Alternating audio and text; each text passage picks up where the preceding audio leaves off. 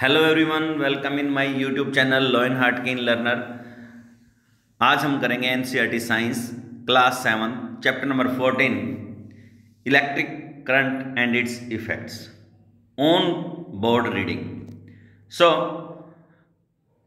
the flow of charge through a conductor means the flow of electricity through a conductor such as metal wire is called electric current, इसको हम electric current बोलते हैं। Means किस प्रकार का charge आपके सामने दो प्रकार के चार्जेस इसमें बताए गए हैं, जैसा कि फ़र्स्ट है पॉजिटिव चार्ज और नेक्स्ट है नेगेटिव चार्ज तो ये दो प्रकार के जो चार्ज हैं, जब भी किसी करंट कैरिंग कंडक्टर के अंदर से फ्लो होते हैं मीन्स जब भी फ्लो होते हैं that one is the electricity और हम कह सकते हैं इसको इलेक्ट्रिक करंट तो आपके सामने दिखाया गया है electric circuit what is the meaning of electric circuit a continuous conducting path consisting of wire bulb switch etcetera between two terminals of a cell और battery along which an electric current flow is called a circuit means एक simple जो circuit होता है, उसमें आप देख रहे हैं कि जैसे एक स्विच है, दूसरा सेल है, पॉजिटिव और नेगेटिव जिस पे रिटर्न है, और एक बल्ब। तो जब भी स्विच ऑन होता है, मींस सर्किट कंप्लीट होता है तो सेल के पॉजिटिव टर्मिनल से नेगेटिव टर्मिनल की तरफ़ हमारा करंट फ्लो होता है। मींस जब भी करंट फ्लो होगा तो इसकी जो डायरेक्शन रहेगी वो पॉजिटिव से नेगेटिव की तरफ़ रहेगी in a current carrying conductor so in figure we have a cell having a positive terminal and negative terminal the positive terminal of a the cell is connected to one end of the switch with a piece of copper wire the other end of switch is connected to one end of bulb holder with another piece of copper wire. The negative terminal of the cell is connected directly to other end of bulb holder with a copper wire. तो इस प्रकार से हम लोग क्या करेंगे कि अपना एक इलेक्ट्रिक सर्किट ऐसा पाथ बना लेंगे क्लोज्ड पाथ जिसमें से करंट आसानी से पास हो सकता है और सर्कुलेट हो सकता है so that one is the electric circuit next इसमें आता है सर्किट डायग्राम सर्किट डायग्राम से पहले मैं आपको बता दूँ कि कुछ सिंबल्स हमारी battery bulb means cell bulb और स्विच वायर इन सबको दिखाने के लिए कुछ ना कुछ सिंबल्स बनाए गए हैं, जिनके द्वारा अगर हम किसी भी इलेक्ट्रिक सर्किट को रिप्रेजेंट करें तो उसे बोलते हैं उसका सर्किट डायग्राम जैसा कि आपने क्लास सिक्स में पढ़ा है। तो सर्किट डायग्राम क्या है? A diagram which tells us how the various components in a circuit have been connected by using the electrical symbol of the components is called a circuit diagram in another words means simply अगर हम बोलना चाहें circuit diagram को, ये एक representation है electric circuit को दर्शाने का। तो नेक्स्ट है इसमें battery a group of cells joints in a series is called a battery means a group of cells जैसा कि आप देख रहे हैं कि जब भी कभी, जैसे यहाँ पर थ्री सेल्स हमने ले लिए हैं और इनको सीरीज़ में जोड़ा मीन्स एक का नेगेटिव दूसरे के पॉजिटिव के साथ। एक का नेगेटिव दूसरे के पॉजिटिव के साथ। नेगेटिव और पॉजिटिव को हमने अलग रखा है, जिससे क्या है, हम इससे आगे कोई भी सर्किट को कंप्लीट कर सकते हैं।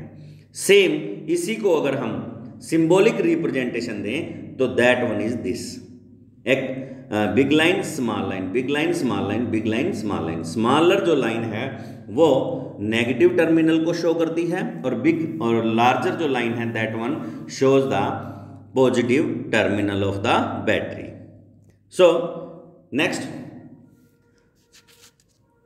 effects of electric current means electric current के कौन कौन से इफेक्ट्स हमारे सिलेबस में हैं?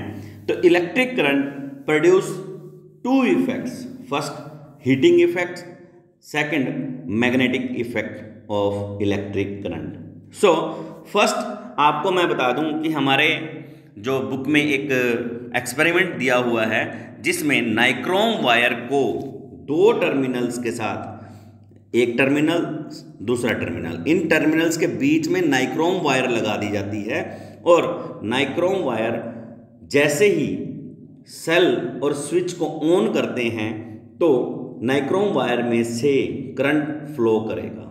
और करंट जो फ्लो करेगा तो नाइक्रोम वायर का थोड़ा सा जैसे जैसे करंट चलता चला जाएगा इसके अंदर से, वैसे वैसे ये हीटअप होनी शुरू हो जाएगी।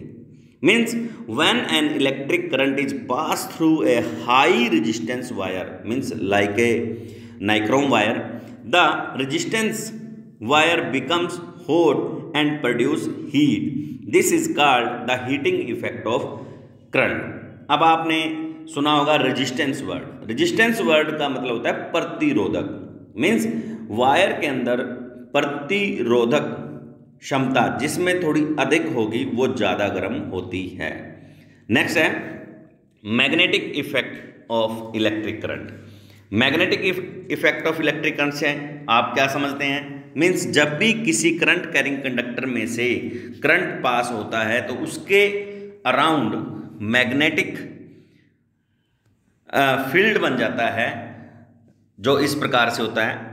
When electric current passes through a wire the current carrying conductor wire behaves like a magnet magnet की तरह बिहेव करने शुरू कर देती है।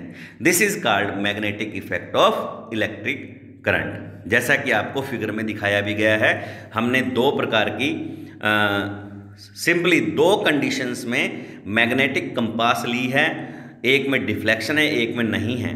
तो जैसे ही स्विच ऑन करते हैं हम अपने इलेक्ट्रिक सर्किट का और इसको नियर टू बल्ब लेके आते हैं तो इस मैग्नेटिक कंपास में डिफ्लेक्शन शो होता है। मीन्स पहले से जो नॉर्थ साउथ में इसकी निडल थी, वो थोड़ी डिफ्लेक्ट होके नॉर्थ साउथ से भटक जाती है due to the current carrying conductor और इससे हमें ये प्रूव हो जाता है कि जब भी करंट कैरिंग कंडक्टर के अंदर से कोई भी किसी प्रकार का करंट पास होता है तो उसमें मैग्नेटिक इफेक्ट्स आता है. नेक्स्ट मैग्नेटिक इफ़ेक्ट को हम एक इलेक्ट्रोमैग्नेट से भी समझा सकते हैं। मीन्स जैसे एक हमारे पास सिंपली कोई भी आयरन रोड है और इसके चारों तरफ़ हमने क्या कर दिया? कोयल कोयल रूप में कोई चीज़ वायर इंसुलेटेड कोयल बनाई। मीन्स इंसुलेटेड वायर से कोयल बनाई। तो इस कोयल के अंदर जब भी करंट पास करते हैं, हम इस प्रकार से देख सकते हैं आप लोग। करंट पास करते हैं तो ये एक बिहेव लाइक ए मैग्नेट करने लग जाती है। मीन्स ये एक टेम्परेरी मैग्नेट है but it is stronger as current become higher जैसे जैसे इसमें करंट ज़्यादा होता चला जाएगा, ये स्ट्रोंग होती चली जाती है।